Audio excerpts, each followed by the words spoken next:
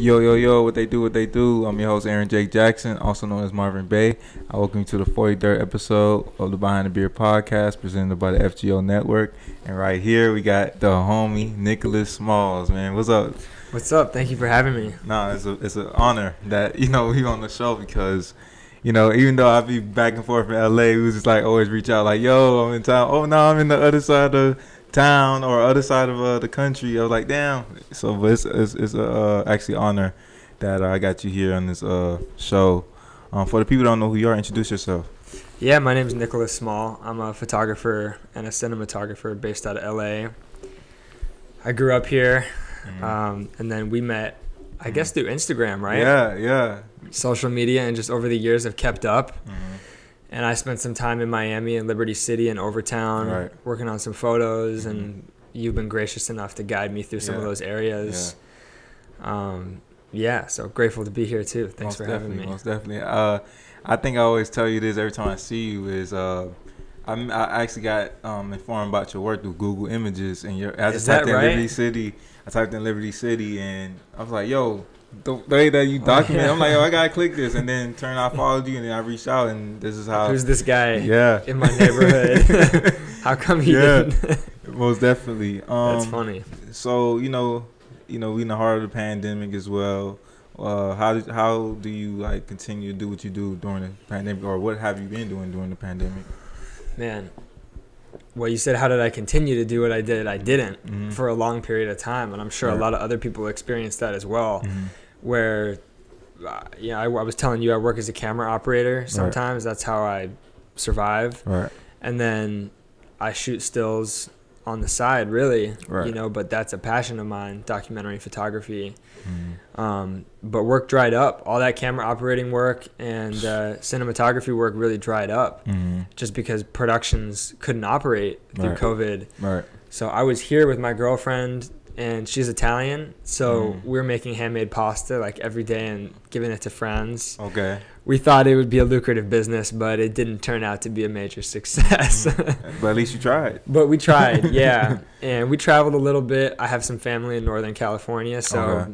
just got to reconnect with family and Mhm. and be low key with friends. Right. I feel like that whole like the even the beginning parts of like the pandemic, it was just even though it was like we never seen this before, but it was kind of like in tune. You had to be in tune with yourself around that time because it's like I was starting to read books back to back and just you know get try to like force myself to try new things that I've never done and you know, Sure. have that me time as well too. For sure. Yeah. Yeah, I, I considered that too. It was a lot of time. You know, we're so used to going, Right. Especially in our industry, Mhm. where you have to make everything on your own. You're not Right. clocking in and clocking out. So Mhm. every hour of the day is an opportunity to hustle. Right.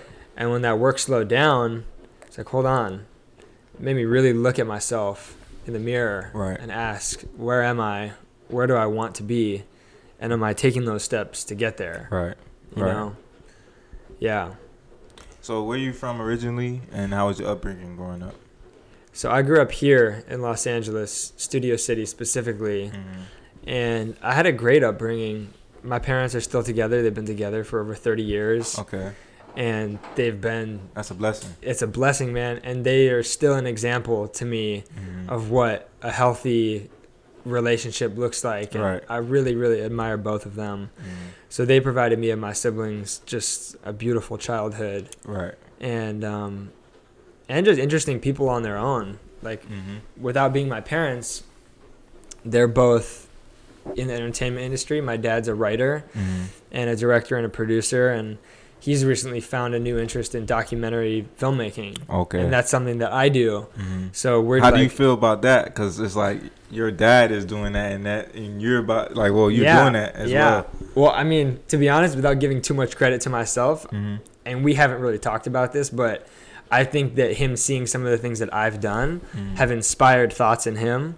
Oh. And and so we've actually gotten to work together on a couple things. Oh, wow. And yeah, that's a really cool experience. That's that's that's very interesting. Like Yeah. just to see your dad probably on set and just It's crazy. what was your mind like when you just seen that? Um, a couple different things that I was separated. You know, I look Mhm. at him and I respect him as the filmmaker, and I'm listening to him and and you know he's above me on set, so I'm right. really just respecting him as the authoritative figure. Mhm. But then I have those moments where I'm like, oh my god, here's my dad following his dreams at the same time, right. and that's just beautiful to see. Mhm.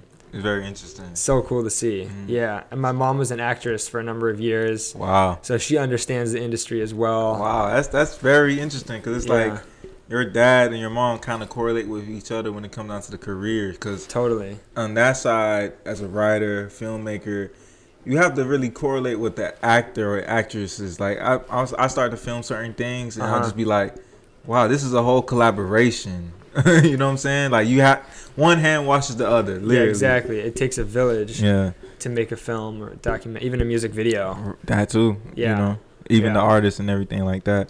Totally. So, so when did you start picking up a camera? back to my dad again. He had film cameras Mhm. laying around, Mhm. and I was always into the mechanics of things growing up. I like Right. building things, Mm-hmm. and I just looked at a camera like a piece of machinery. You know, I loved opening it up, loading the film, Right. figuring out how the settings Right. made the images look different. Right. So I started messing with cameras at like 12 years old, Wow. with film cameras specifically. Mhm. And then in high school, my parents put me in a film developing course over the summer. Right. and that sparked a whole new interest Mhm. in the art of developing film and printing it with Mhm. an enlarger. So I feel like that's when I started to really fall in love with making Mm-hmm. images. But it's been a journey. Yeah. I've fallen out of love with photography at times, and we were talking about Yeah. that, you know, and then heavily in love with it, and it's the whole relationship. yeah, it's it's it's like a relationship with a person, Mhm. really. Mhm. Yeah, and I'm at an interesting place with it now, Mhm. where I've I've stepped back a little bit. I haven't been shooting as much lately. Right, right. But you know, photog- we don't talk about that.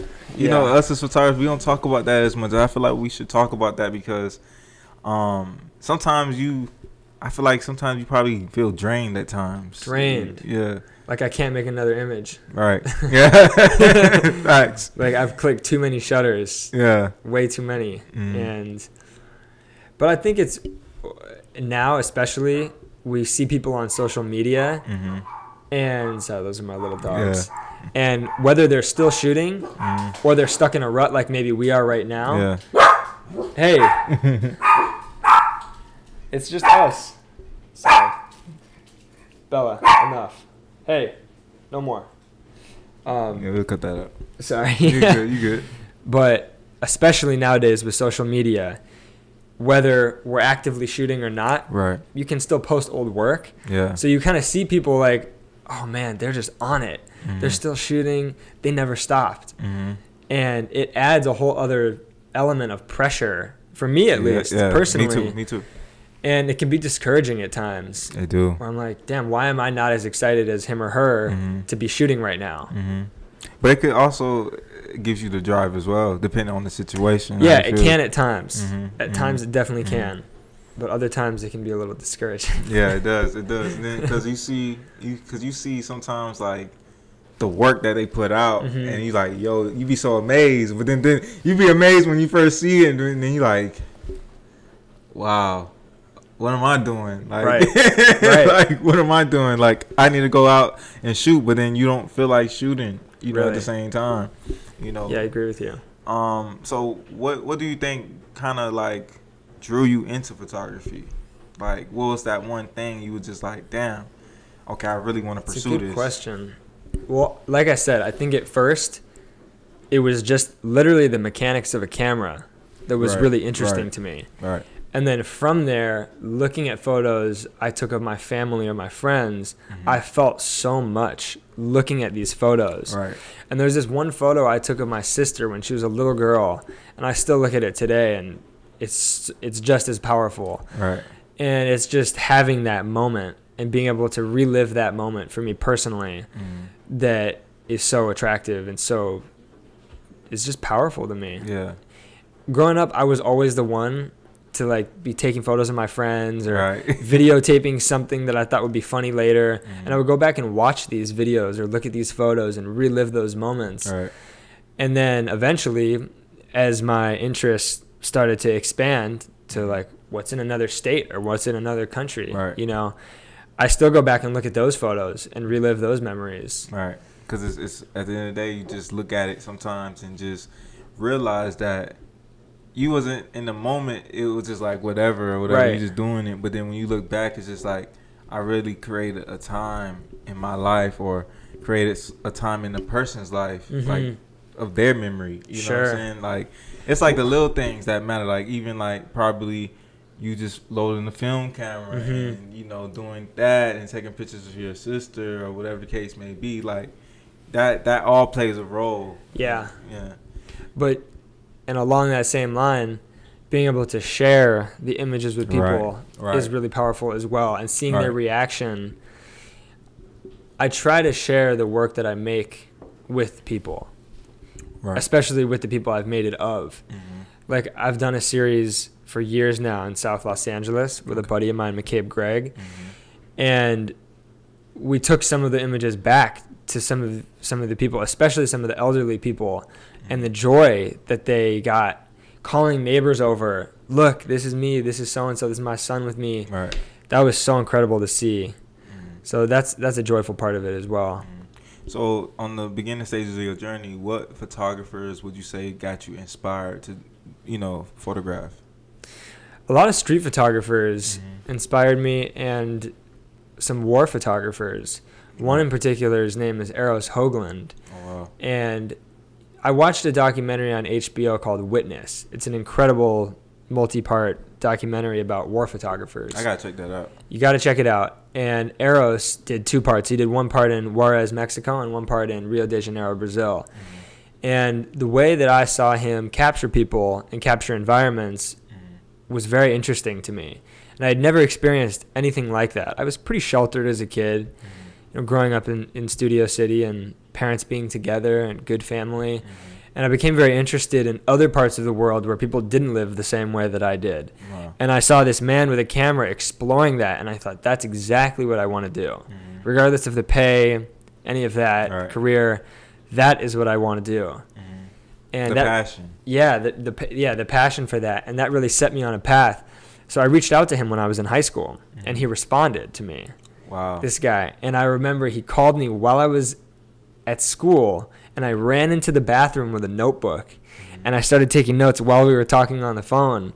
And I said, "Man, I'm at school. I got to call you back later." So I called him when I got home, and I still talk to him today. He's Oh, been a major mentor in my life. Yeah. Any big decisions, I always talk to him. Yeah. Yeah. That's how I am with my mentor. Is that right? Yeah, yeah. Uh, I actually interviewed uh, one of my mentors, Jeffrey Salters, and Cool. he shoots for Sports Illustrated, a lot of sports Okay. photography, and just like how I met him and just actually sitting down with him and just him just talking about certain things that you know about how he photographed certain things and how he came up and everything like that. So it's just like that's kind of like the similarities That's of really like interesting. yeah, like it's just crazy and it's that little moment like You probably learned tons of stuff that you didn't know before from talking to him like Right, this. right. Even conversations, like Yeah. conversations, get inspiring because it's like you start to understand the other people's viewpoints of how they photograph or how they just view things on life. as Sure. well, too. Um, but yeah, man, that's. I feel like war photography don't get enough credit Mhm. because it's like, and this is from outside looking in, is because you have to understand that with war photography, there was in the war, so Yeah. anything could like Right. happen. And that goes back into what we talked about earlier off the air. Like, photography is just like one of the type of situations that you don't even think about what's around. You just look in the viewfinder and just and just look Yeah. forward. You know, Yeah, and some people use that as a as like a safety blanket or a crutch, right? kind of, Mm-hmm. to ignore what's happening around them. Therapeutic. Yeah, yeah, and it feels safe to just close one eye and the other eye is, ju- like you said, just seeing through the lens. So, do you think um, with his work, it kind of correlated into what you got going on now and how you photograph certain subjects and uh, the different areas that you go into? It definitely inspired a curiosity in cultures that I'm not familiar with. Right. And and to be totally honest, there was an attraction to putting myself in maybe some dangerous situations. Yeah. Like just point blank, seeing him in those situations, I was curious to see what I would feel like in a situation like that. Right. And not that I've really been in a war zone even, but um, just some of the areas I've chosen to go into, I've been curious to see how I would personally react and deal with those situations. Right. Um, yeah, and that's been kind of a, a weird conversation I had with myself because when I started college, I wanted to study history and international relations, learn about the world, Mhm. and then I wanted to go work as a war photographer. Oh wow! you And- know, actually, my mentor, uh, Jeffrey Salters, he actually uh, used to shoot for the army. Really? Yeah. Did you travel with I- them? Yeah, he uh, Okay. went overseas and everything. I gotta, I gotta, uh, Yeah, you gotta- link you guys or just everything. But sorry to interrupt. Or even just to see his work. I would love Yeah. to see his work. yeah. Um, What you were saying? uh, But yeah, yeah. So I thought I thought I would I would go pursue that, and then I found an interest in camera operating and cinematography, and that led me into a career in the film industry. Mhm. So Let's I don't talk know. about that. Let's talk about that. Like, Yeah. how did you? I know you said earlier about your father being into Mhm. it, but how did you like really decide that you want to get into cinematography? Because that's a whole. It's similar, but it's a whole different world as It well. is different. It is different. Yeah, I never thought I'd work in the film industry. hmm I think seeing both of my parents in it, I just wanted to do something different. hmm And growing up, I was on set. I went and worked as a production assistant since Right. I was like 14 years old. hmm just to make some money. Uh, but I people would ask me, so what are you gonna do here? What are you gonna do on set when you're older? Nothing. I'm out of here. I'm Mhm. not doing this. hmm I just wanted to do something different, you Right, know. right. And um, while I was in New York, I met a guy named Vladimir Gomez, a Okay. skateboarder, a really fascinating young guy. And he's went on to do some really incredible things. He started a company called Public Housing Skate Team, clothing company, and uh, just a multimedia brand with his partner Ron, and he had a fascinating story, Right. and it just aligned at the time where I was ready to tell, try and tell that story. Mm-hmm. And I took my Canon 7D and I flipped it over to video mode, and I started recording some clips. I did an interview with him. Mm-hmm. I cut together a terrible short documentary mm-hmm. on him, so bad, but um, he was great. Like, and and I fell in, I found found a new love for making images, but now they're moving images. And I thought, all right, let me go back to LA, use some of these contacts in the film industry Right. to learn how to tell these stories better. And sometimes I'll, it'll be stills that'll serve the story best, and sometimes it'll be video. Yeah. yeah. Um, and as I became proficient in shooting video, then I was hired to do different things, work on Mhm. documentaries, music videos, right. um, television shows, and so What gets you like kind of motivated in the cinematography world? Because when I look at cinematography, I look at the lighting. The Mhm. lighting of everything, it just brings, it catches my eye. To Yeah. Well, yeah, I I found myself in certain still photo situations, um, wanting to make modifications Mhm. that I would think I thought would tell the story better. You know, light it differently, put someone in a different area. Mhm. But I felt weird doing that because I was in maybe a difficult situation with someone and it just didn't feel right, didn't feel real or authentic to change it that much. Right. But I still had the desire to tell stories in that way where I could control everything. Mhm. So that's where um, maybe on a documentary series and you're interviewing someone, you have the opportunity to think, Mhm. what is going to serve him or her best story wise? Right. Where do I want to put them? How do I want to light them? Mhm. And there's just more options, Yeah. you know, Mhm. some creative control there. Right. Yeah. Right. Right. So what, going back to photography, what was your first camera? First camera was a Nikon, I think it was called the F2020. I still have it upstairs. Wow. And that was my dad's film camera Wow. that he handed down to me. Mhm. Not officially, I kind of just took it and started using it. But he's cool with it. So that was the first one. And then I probably had an AE1, a Canon AE1 somewhere in there. I interviewed uh, some photographers as well. Their first, uh, one of their first cameras was a Canon AE1. I used to have a Canon It's a AE1. classic I sold it. Yeah. I, I regret to this day I sold it. Like, I've got one of those up there. And then uh, Pentax K1000. I got that one. That's a great That's a- camera. Yeah, I have to keep. I won't Simple. get rid of that one. The light meter is just that little needle. Mhm. I can move fast with that camera Yeah, on the go, whatever. on the go. And then eventually I bought my dream film camera, Leica M6. Yes. Oh man, that's Yeah. that's that that's that baby. That's the baby. yeah. So that's the one that I probably shoot the most on. But sometimes I miss the Pentax and I got to Yeah. go back. That's how I'm feeling right now. Yeah. Like I, I, I like I had put my Pentax K1000 away like in my storage because I shoot medium format with uh my uh with a Pentax 645 Nice. and you know you get comfortable with the with the with the medium formats and everything, but then something tells you like you need to go back to the 35. Yeah, yeah, like, yeah. You know what I'm saying? So I'm at that stage right now, going back to the Pentax K1000 and just go out and just you know they shoot. feel different. Yes. The two, the different mediums, Mhm. right? Like 35 millimeter to me ends up feeling more personal, yes, and um, and one shooting 120 or Mhm. 220 medium format, I like to use more for like landscapes or for like a beautiful portrait of someone. Right, right. But I don't know. I agree. I'm still figuring that out. Yeah, Yeah. yeah, I'm yeah. I, I totally it's agree. just tools, Yeah, right? they do different things. Yes, yes. That's that's that's the with the photography aspect of everything. The camera is really the tools. to- Yeah. it's like a mechanic. You get in your wrench. You get in. Yep. Um. Your your uh.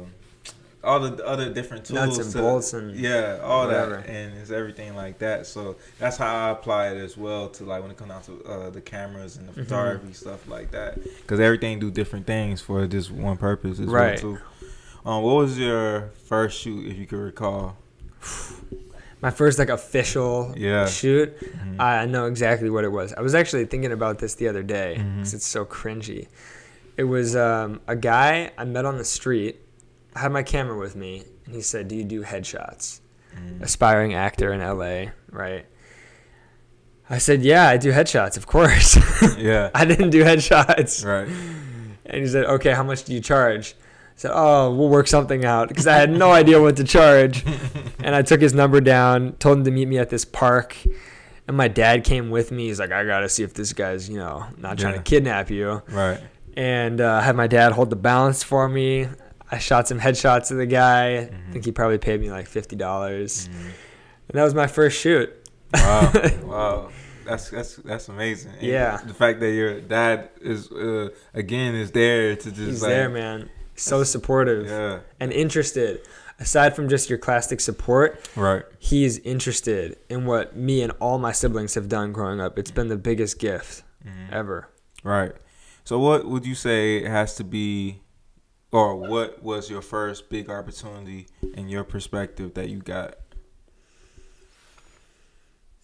as a photographer? As a photographer, I created that opportunity for myself. I drove down to South Los Angeles with a camera that my aunt um, lent to me. It was a Mamiya RZ67 Pro 2. Mhm. Since then, I've bought it from her. But she lent me that camera, and I went down to South Los Angeles and started introducing myself to people who I felt I could connect with. Right. I grew up in LA, and the only things I had heard about this place, you know, South Central, Mhm. were negative. I see cop chases on the news, or someone's shot and dead, or something terrible.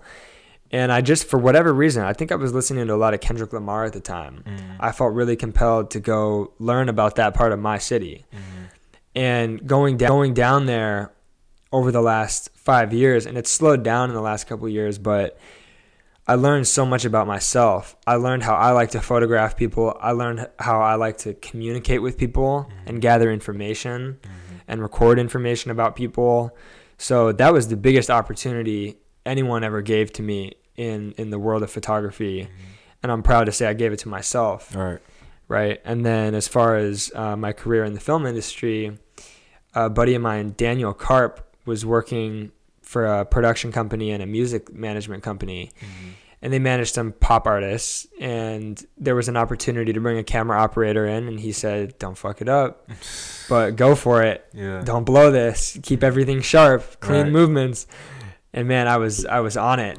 I was Mhm. on my shit. And since then, he referred me again, and then other people saw my work, and that was the beginning of my real career as an operator. Wow, like my mentor Jeffrey, he, he says, because I asked him, I'm like, do you ever look back at your work and just be like, wow, let's go based on what we talked about Yeah. there.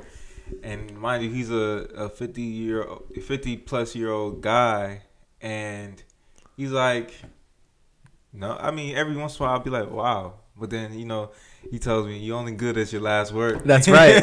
so, That's right. so it's just like you got to keep on going and going and going. I know, and that's part of the hustle that I really hate Mm. about the industry, the creative industries of, you know, freelance photography and cinematography, because it's mentally exhausting to always be proving yourself. hmm Oh yeah, yeah. Facts. The facts is a lot of people don't talk about that. You know, as, Yeah. as a photographer, you know, dealing with even the anxiety aspect of everything. Like even doing the shoots, like Right. we're thinking like, how can we get this done? And I hope when I send these files to the company, It's they a like good every single one. Yeah. It's like once you press send, it's like, uh, Yeah, that could be it with those yeah, people. Yeah. I know. I think the same thing. Mhm. And that goes for other careers in creative industries. Like my girlfriend's a dancer and a, and a choreographer Mhm. and now a creative director, but it's the exact same thing. If she shows up and the artist doesn't like the movements that she put on the artist or the dancers, that could be it for her with that artist for the rest Mhm. of time. And so I'm so lucky to have her to relate on that level Right. and to talk about those things. Right. And that goes to my next question. Like, um, what do you think is the biggest challenges you can face as a photographer? Oh. Biggest challenges.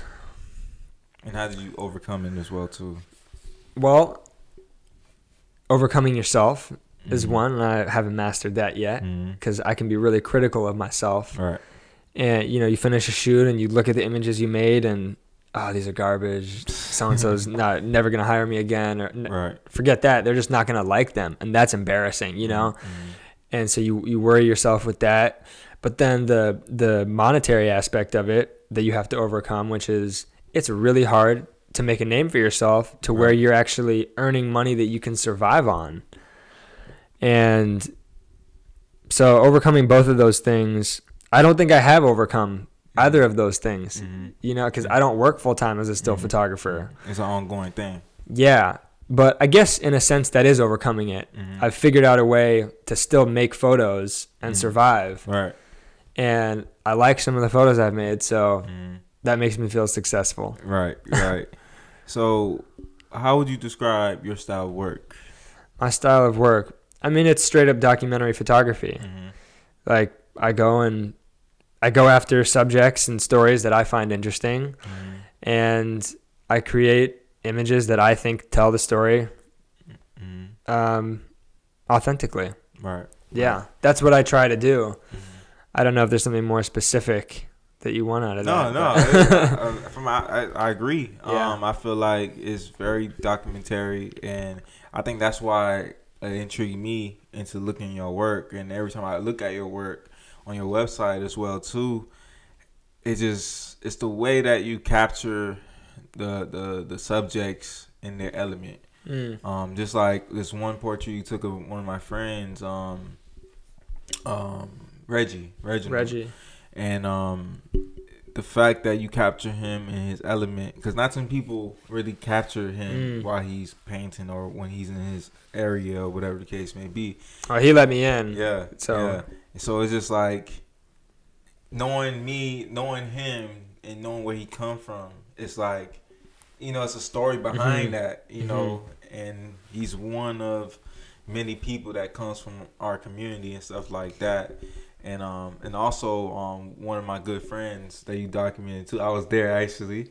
Um, Fella Boy, him Yeah. and his mom, and Yeah. um, in Overtown and everything like that. I love that image. Yeah, like I look at that from time to time. that just hits me for me some too. reason. Me too. Him and his mother. Yeah, like and and like I said, like it falls back into memories. We could have these conversations based on what we Mhm. the day, what transpired in that shoot earlier that day.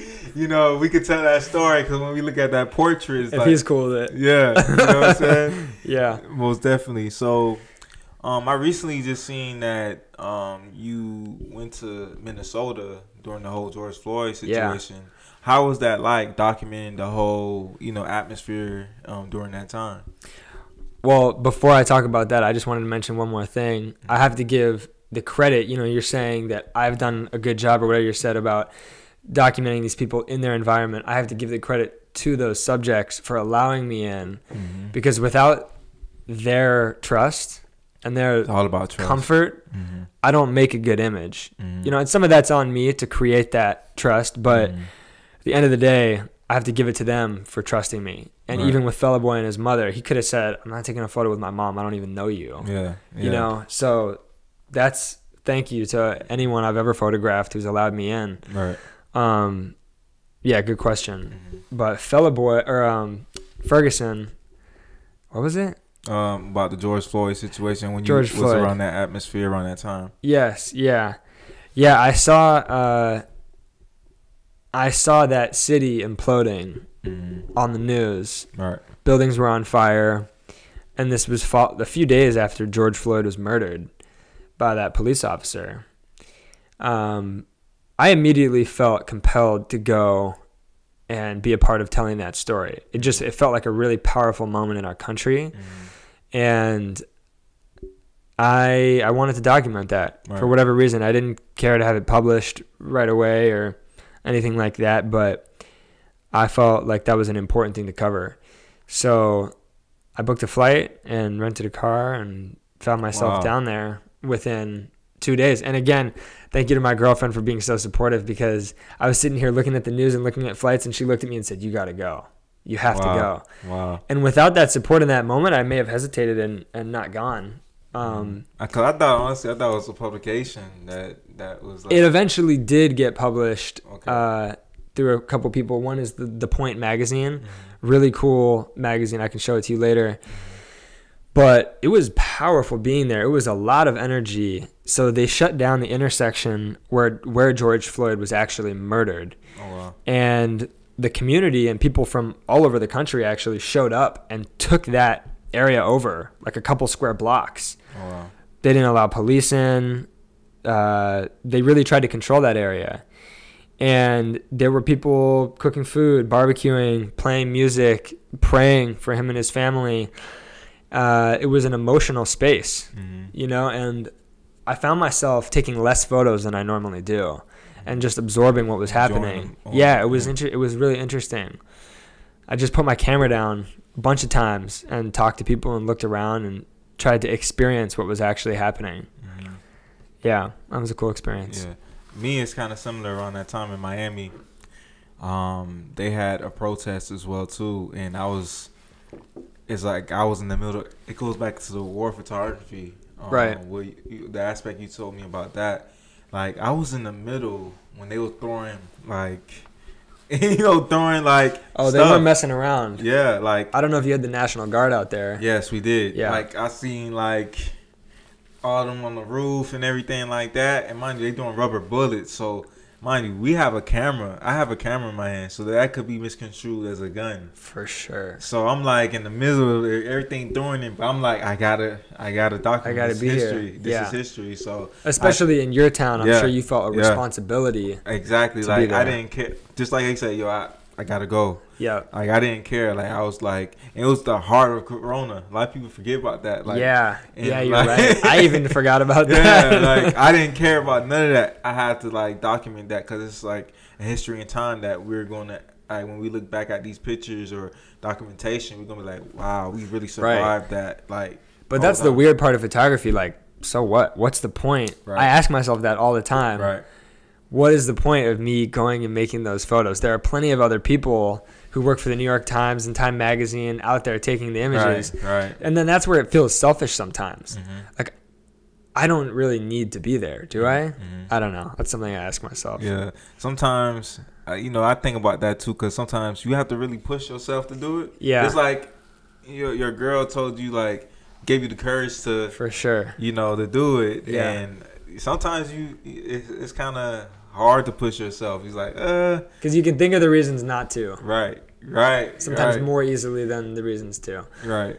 But yeah, that was that was a really powerful uh, couple weeks, Mm-hmm. ten days, whatever it was. And I met some amazing photographers out there, Okay. some photojournalists who worked for these big publications, and that was a really inter- is- interesting experience as well. Mm-hmm. Seeing how they cover situations, seeing when they get nervous and how they deal with those those You moments. wouldn't even think they get nervous. They're so used to, you know. But w- eh, watching when they decide, okay, it's time to leave, Mm-hmm. that was very interesting. Mm. and I wasn't as equipped as they were. I didn't have a helmet. I didn't have a flak jacket. Um, I didn't have uh, bulletproof glasses. Those were all things I should have had Wow. because I actually did get hit with. Um, A rubber bullet. it was a it was some projectile that had like a peppery, like a mace. Oh yeah. In it. Yeah. I forget what they called them. It's like a pepper ball, Yeah, yeah. essentially, but I it's what you're talking a foam that explodes, and it broke my skin. So then those chemicals got in my, I think, into my bloodstream, Mhm. and my whole body was on fire for like twelve hours. Wow. Yeah, I got when I was in Miami with doing the riots.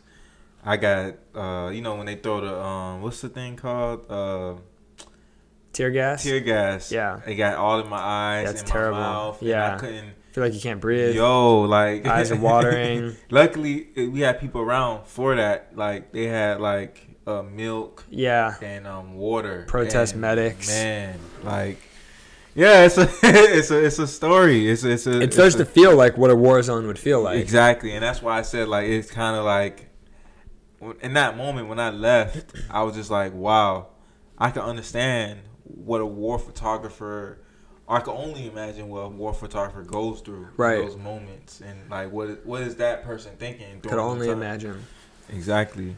Yeah. Um. So what what would you say is your favorite place to travel to when it comes down to just documenting overall a period of time? Miami. Yeah. Hundred percent. I need to be there more often. You think so? I think so. No, I know so. Yeah. The the people, the uh, the language, like the words you guys use Yeah. that I've never heard before, are so. I don't know. It's just rich in culture, and it feels good to be around. The Right. food's good. Lemon Yeah. pepper. I didn't forget. hey, yeah, remember, shout I, Lemon Pepper, shout out to lemon pepper. I crave it all the time. yeah. Oh man, I, th- I think about that restaurant all the time. yeah, man. I had some. Um, now they they selling salad like grilled uh grilled fish salad. So I I, I, I Conch? Yeah. No, they have conch there too. I Conch. ain't have conch. How do you pronounce it? Conch. Conch. conch. Yeah. Yeah. They don't have it out here. No, They don't, not. right? Damn, definitely like- not. So I'm, that's the southern, you know, or South Florida. That's what we known for for the country, you know, the Yeah. Caribbean and everything Yeah. like that. But it's it's so crazy. It's so crazy because when you travel, you just see different aspects of different things with foods and stuff like that. love the weather, Yeah, it's hot every the day. colors, the pastel Very colors, vibrant. Yeah, Mhm. and that's what I mean. The culture in every aspect is rich and Mhm. vibrant. Mhm. It's just it's fun to be around. It's interesting. I'm, Yes. I'm totally drawn to it, and I think there's a lot of interesting change happening in Miami. It is right? With water levels rising, and On what was Beach. once a desirable area along the water is now kind of uh, a risk to live there and to invest in for developers. And so I think it's a coincidence. It's not a coincidence, I should say, that these developers are starting to invest more money into the inner city Mhm. and stray away from those beach lines, but it's at the expense of people who have lived there Mhm. With- yeah, with with little to no opportunity for decades, Mhm. if not a century. Right. Especially Miami are the way that everything's structured. It's like it's like you got the beach, then you got the the uh, the causeway, and then you got the city areas. And when it comes down to that, when it rains, like like when it rains bad, you start to see flooding everywhere. Like, Really? Like literally, like you go to Brickell or certain parts down south, like it rains bad, like Interesting. flooding, like when during hurricanes, we our like last few hurricanes, we had it really bad. Hmm. Like you know, depending on what areas, like sometimes, like especially the beach, the beach got it worse. Like when it rains bad, when we have a hurricane or a tropical storm, the water would literally be like high, Wow. and then the water would get in people's cars and stuff like that. So it's it's you know that's Crazy. global warming. You know that's, that's Yeah. that's crazy, and even like uh, I saw this like little uh, YouTube video um, on Miami Beach. It's certain areas that they obviously like they build like they fix the roads so it could be a little Mhm. bit higher.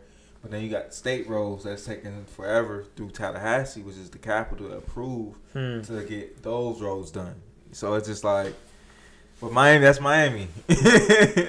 You know? yeah, I just I think it's important that people pay attention to how development Exactly. changes over time and, Exactly. and who it affects. Exactly. Um, you know, seeing and um, seeing just even seeing like people I grew up with not living there no more. They moving either up north or down south, and it's kind of like, damn, like this is really changing. Or just seeing certain houses that was abandoned or you uh it was you know different activity going on right there Mhm. but you just see it every day and now you just seeing a new house pop up it was like Right. wow so you you know you know it's it's uh very interesting you know just It seeing is. that in miami but you know it's just, it is what it is that's just how you know that's how Yeah. people pe- people approach it Yeah, yeah, and that's it's easy for people to just say it is what it is. Mhm. Yeah, and um, it's overwhelming because Right. it's it's such a big thing to tackle. Right. How are you going to stop developers or the government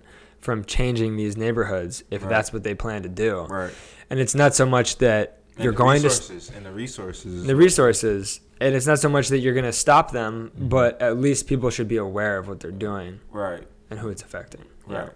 So jumping back into photography, I, I know this is gonna be a hard question. That's all right. Go for it.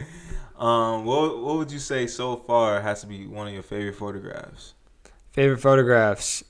Uh, there's a woman named Estella who lives in Watts, Okay. and so not as hard as you thought it'd be. That is my favorite photograph. I have it actually printed over here somewhere. I can show you at the end. Um, she was in her mid 80s at the time that we took the photograph, me and my Okay. buddy McCabe Gregg. And she just had the most uh, kind of classic and historical story Mhm. that reflects that community so well. Mhm. She grew up in Louisiana, migrated north to Los Angeles Mhm. Uh, when she was young with her husband or boyfriend at the time. And they were in search of work. They came to Los Angeles, had kids who had grandkids who had grandkids, and Right. they've seen it all. You know, she's got kids or grandkids, sorry, um, who were in gangs and have ended up in the criminal justice system. Mhm. And she's just a she's a perfect reflection of a beautiful woman who came who who moved north in search of opportunity Right. and who experienced the good and the bad right there was opportunity but living in an area that became a ghetto Mhm. quote unquote Mhm. kind of destroyed some of her family Mhm. so she's just she's a fascinating woman with a really interesting story and she's a woman of faith she's a woman of god Mhm. and she was wearing a, a bracelet that said try god and there's an american flag in the background Mhm. so i just i feel like that photo tells the story well and so i'm proud of that photo It's crazy because uh, the photographers I interviewed in the past, just, they have a tough time just you know uh, uh, expressing what's their favorite because so many. Of them. yeah so many i'm trying to take myself less seriously these days also Right. you know i could have sat here like two years ago like oh man i don't know there's so many great photographs but Mhm. No, I that I like that photo a lot, so Mhm. that's the one. So now this is probably going to be another hard question. Um, well, thi- this Might probably prove you be wrong. Film or digital, and why? Uh, they they both serve their own purposes. Mm-hmm. Personally, if I'm shooting something I really care about, it's it's gonna be on film Right. because the digital sensor is evolving forever, and the look of a digital image will continue to to change. right. So I don't like taking the risk of it looking good today, and then in 20 years, people's eyes have changed because Mhm. the sensors have changed. Mhm. and it's wow he must have taken that back in you know 2021 Mhm. Film. oh yeah yeah he shot that on Yeah. his leica Yeah. and it's 35 millimeter and it's timeless Mhm. you know Yeah, it's definitely timeless. Like, so if i care about it better believe it's getting developed oh, most definitely. Yeah. There's something about film. It's like it was make it, film is just like it gives you that that rawness, Mhm. that rawness that you can't even put in words at all. Like, film's forever yeah, like it's forever what would you uh, say? You know, you probably play with many different cameras. What would you say has to be your favorite camera of all time? of all time Mhm. Hmm. i would say the pentax k1000 Mhm. i think that's just a great versatile 35 millimeter camera that i've made some really cool images with Mhm. images that I feel good about and yeah, just easy to work, total workhorse. Yeah. But in the last few years, I've really fallen in love with that Leica M6. Yeah, I gotta. That I works gotta well too. day. Yeah. Um. So when we get in a photography book by Nicholas, like Man, Smalls? it will happen someday. That's where I still take myself a little too seriously. yeah. And also just downplay myself. I'm like, man, Right. you don't deserve to have a book out. Yeah, like, yeah. you're so not there. Yeah. But someday I'll put a book out. That project I've mentioned now a couple times in South Los Angeles Mm-hmm. has been a real passionate project for me and McCabe. And that's something we always intended to publish as a book. Right. So it's it's really just a matter of time before we feel like there's enough of a, a wholesome story Right. that's digestible for people. I don't want to just put out a bunch of images of people. Mm-hmm. Um, I want there to be a story that people can process. It's going to do something for people, you know? Right. Right. I want it to do something for people. So, yeah, maybe in the next five years, Mhm. that book will come out. Mhm. Yeah. Can't wait. Um. So last question. Any advice for anybody that uh wants to take the similar path that you did Hmm. and that want to continue to do what they do? Don't look at too many people's work. Yeah. Just just focus on what you care about Mhm. because it's difficult. It's more difficult to figure out what you care about than you think. Mhm. What you really care about, the stories you really want to tell, Mhm. the style that you want to represent in your work. Follow your own path. Trust yourself, Mhm. you know? Yeah, trust yourself. Don't stress too much. Just yeah. be and stay excited about it. Figure out ways to stay excited about it. Mhm. Yeah. Okay. Yeah, cool. So episode 43. I appreciate you, man. Congrats. How can the people Thanks get in contact with you? Uh, Instagram, Nicholas E. Small Mhm. is a good way. I try and respond to anyone who ever DMs me. Mhm. Um, my email, nsmallphoto at gmail.com. Mhm. Website, nicholassmall.com. Mhm. Yeah, those are good ways. Yeah. Well, that's it. I appreciate you again. Cool. Like, Thank really you so do. much for having me. Really this do. was a blast. It's it's been a it's been a long time coming, man. Yeah, And absolutely. We finally here. All right, I might have to interview you next. Let's go. we never know. Let's let's get to it. Cool. So this is episode forty three, and we out.